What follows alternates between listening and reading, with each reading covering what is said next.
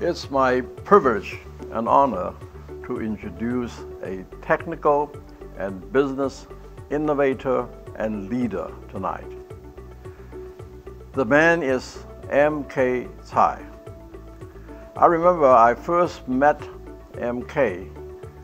shortly after I went to Taiwan, and that was about 30 years ago.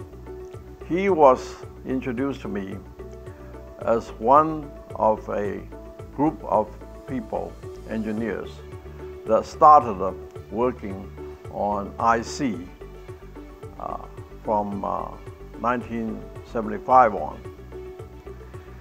But MK attracted my attention particularly because most of that group were process engineers. And MK was one of the few in that group that were design engineers. Indeed, MK continued to work on IC design for many decades. First, 10 or 12 years in ITRI, the Industrial Technology Research Institute in Taiwan, and then uh, another 10 years or so in UMC. However, his technical and leadership talents really started to blossom when UMC spun off MediaTek in 1998. He identified business opportunities for MediaTek. First, in the late 90s, first, the business opportunities were CD-ROMs, DVD-ROMs, and so on.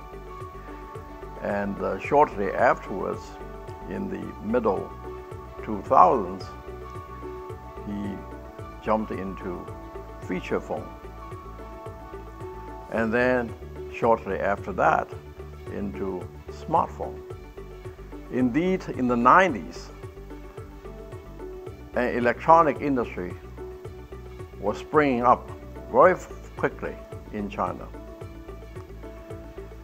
And MK identified the need of that industry. They did not just need IC chips, they needed a turnkey solutions. And MediaTek provided turnkey solutions for the Chinese market. Now, his business leader qualities were testified to by the great success story that MediaTek has had ever since its founding. From very little, it is now the third largest fabless company in the world. And it's also the largest in Asia. From relatively small revenue, it is now, it now has a revenue of five or six billion dollars. This is indeed unusual accomplishment. I think that MediaTek and uh, MK Tsai both still have a very bright future ahead of them. And again, uh, as I said at the beginning, it is a pleasure to introduce him as the award winner of the Morris Chang Leadership Award this year. Thank you.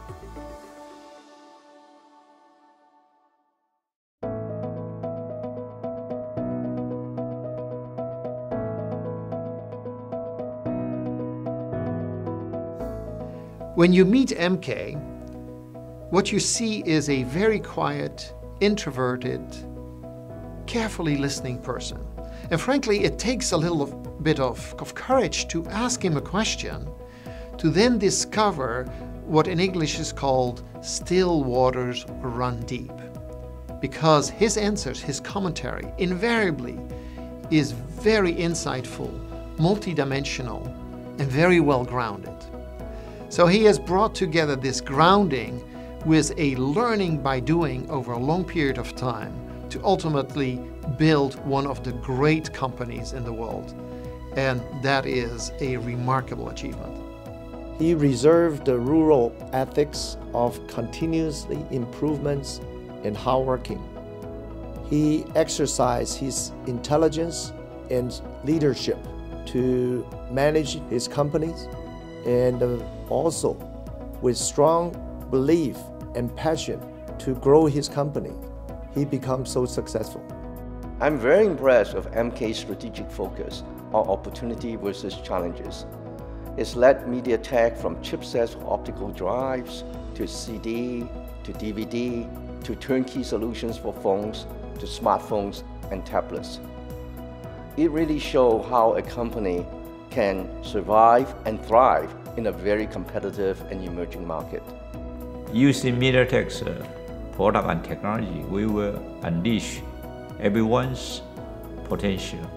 So this is our mission called Everyday Genius for everyone using MediaTek's technology and product.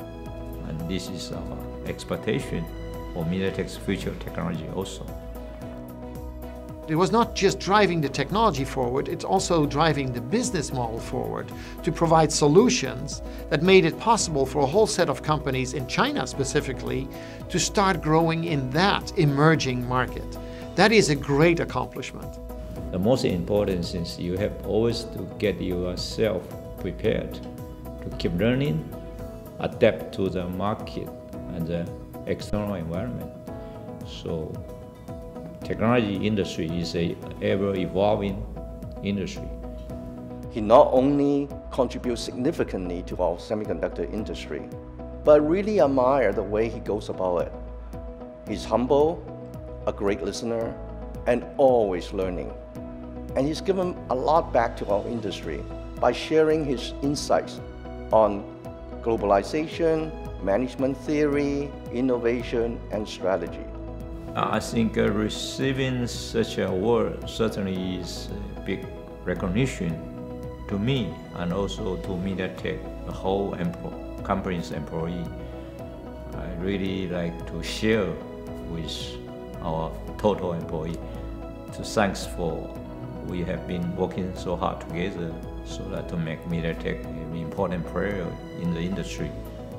And this award also especially with his name of Dr. Morris Chang's name.